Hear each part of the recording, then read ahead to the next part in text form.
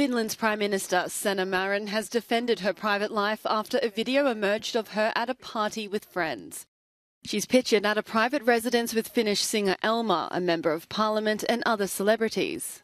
Opposition leaders are calling on her to take a voluntary drug test, saying a shadow of doubt has been casted over the leader. Nämä videot on These videos are private, Sanna Marin has told reporters. I'm displeased they have been spread out to the public. I was spending an evening with my friends, partying, dancing, and singing. A journalist asks were there any intoxicants used. Alcohol, the Prime Minister says. Drugs, another reporter asks. Not to my knowledge, says the leader. No, ei ainakaan minun tietääkseni.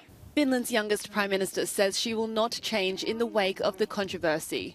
Last year, she apologised for visiting a bar after coming into contact with someone who had coronavirus. She was criticised but ultimately found to not have broken any rules.